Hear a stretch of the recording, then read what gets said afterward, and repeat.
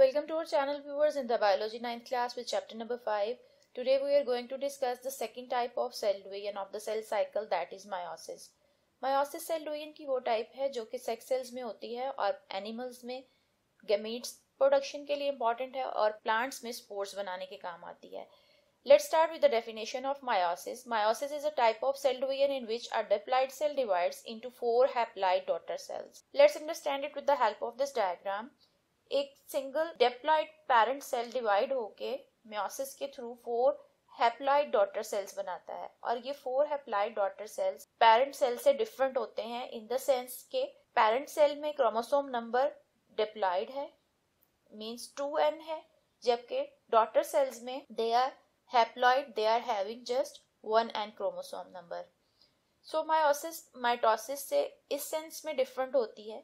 कि मायोसिस में single parent cell से फोर हैप्लाइड सेल्स बनते हैं, जबकि माइटोसिस के रिज़ल्ट में सिंगल पेरेंट सेल से टू सेल्स बनते हैं Who discovered the meiosis? Oscar Hartwig in 1876 discovered and described meiosis for the first time. Oscar Hertwig जो कि एक जर्मन फिजियोलॉजिस्ट था, उसने 1876 में मेयोसिस को फ़र्स्ट टाइम डिस्कवर किया reduction division the word meiosis is derived from the word meion which means to make smaller. As a result of meiosis, daughter cells में chromosome का नंबर parent cell के मुकाबले में half रह जाता है. That's why we call it reduction division. Next are the phases of meiosis. Meiosis takes place in two steps, meiosis 1 and meiosis 2, which are further divided into two phases, karyokinesis that is the division of nucleus and cytokinesis that is the division of cytoplasm. Let's start with the meiosis 1. In meiosis 1, the homologous chromosomes in a diploid cell separate to produce two haploid daughter cells. Meiosis 1 में diploid parent cell से two haploid daughter cells form करते हैं. Karyokinesis, that is the division of nucleus, it takes place in four phases: prophase 1, metaphase 1, anaphase 1, and telophase 1.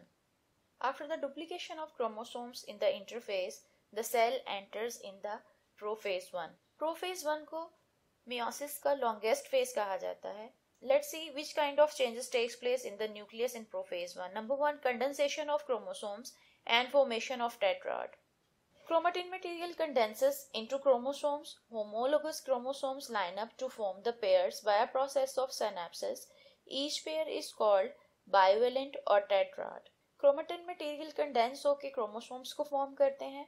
And then homologous chromosomes वो chromosomes हैं जो structure और composition में similar होते हैं. They come together close together and they pairs and line up इस process को बोलते हैं synapsis in this diagram these two chromosomes are the homologous chromosomes these homologous chromosomes they align together और इस point को बोलते हैं synapsis each pair is called bivalent और टेट्राड इस पेयर ऑफ़ होमोलोगस क्रोमोसोम्स को बाइवेलेंट बोला जाता है bi means two as they consist of two chromosomes we can also call them tetrad because they are containing four chromatids tetrad mean four one two three four so this bivalent chromosomes consist of four chromatids we can say them the tetrad as well क्या formation the two non sister chromatids of homologous chromosomes join each other at certain points lengthwise, these points of attachment are called chiasmata.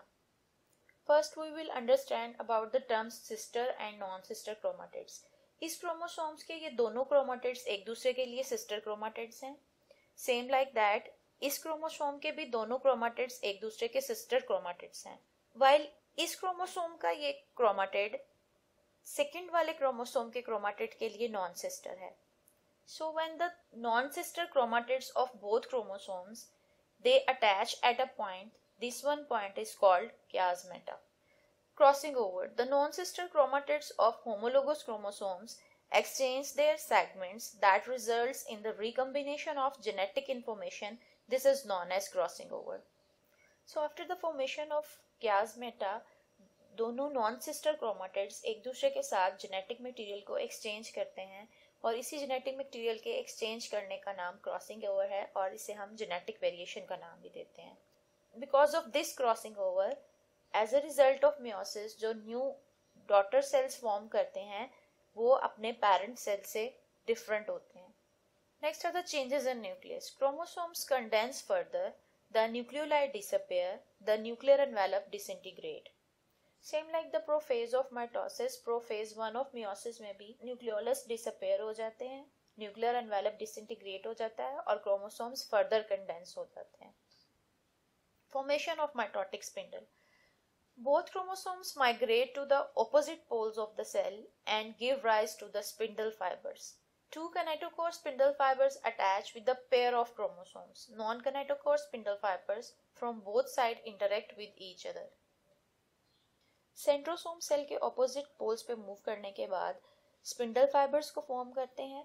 Then two kinetochore fibres from the two poles of the cell get attach with the pair of chromosome next is a metaphase one pairs of homologous chromosomes arrange them cells the equator of the cell forming a metaphase plate homologous chromosomes के pairs खुद को cell के equator पर arrange कर लेते हैं और metaphase plate को फॉर्म करते हैं। Metaphase one of meiosis is different from metaphase of the mitosis in the sense के माइटोसिस में सिंगल क्रोमोसोम खुद को मेटाफेज प्लेट पर अरेंज करते हैं, जबकि मायोसिस के मेटाफेज में क्रोमोसोम पेयर्स की फॉर्म में खुद को इक्वेटर पर अरेंज करते हैं।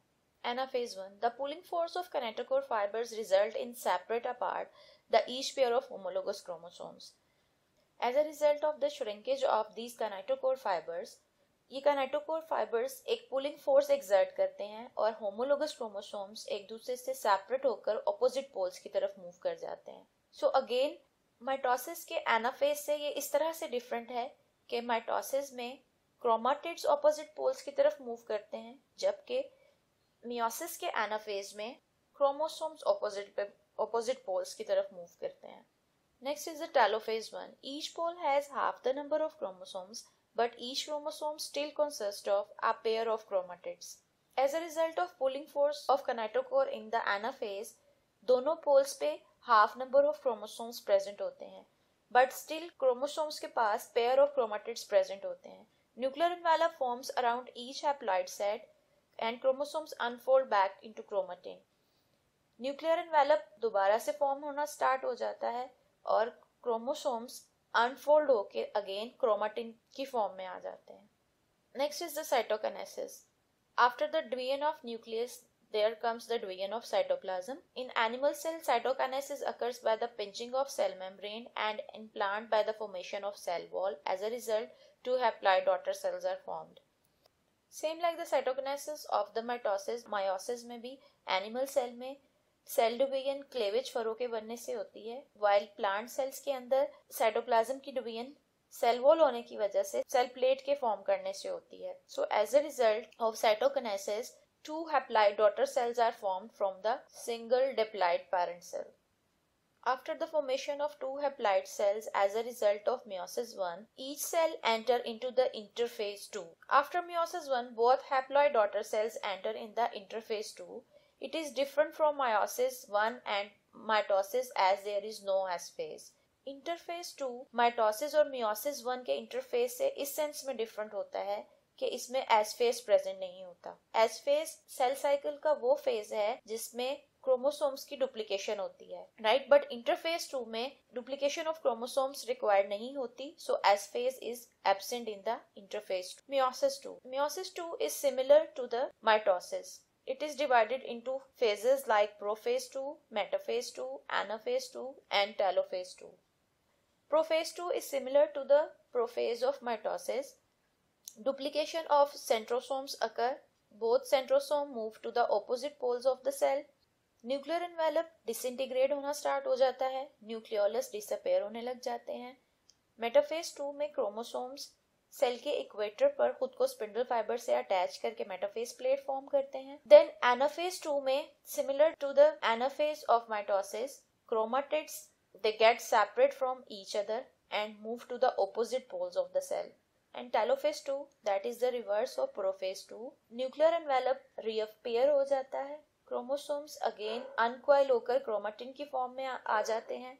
स्पिंडल फाइबर्स डिसअसेंबल हो जाते हैं। And finally So as a result of meiosis 2, two parent cells से four haploid cells form करते हैं So a complete process of meiosis can be understood with the help of this diagram. As a result of meiosis 1 from a single diploid parent cell, two daughter haploid cells are formed. Then these two daughter haploid cells again go through the meiosis 2 and as a result of meiosis 2 from these two haploid cells four daughter haploid cells are formed and these four haploid daughter cells they are quite different from the parent cells both in the number and composition of chromosomes.